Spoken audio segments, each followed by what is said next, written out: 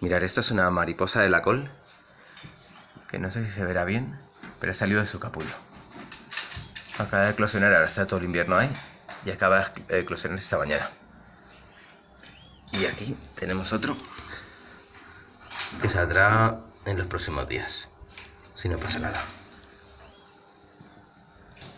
Y esta está, como digo, saliendo ahora. Qué caña. Estos son unos gusanos que luego ponen estos capullos o, o como se llamen y luego para primavera te sale la mariposa.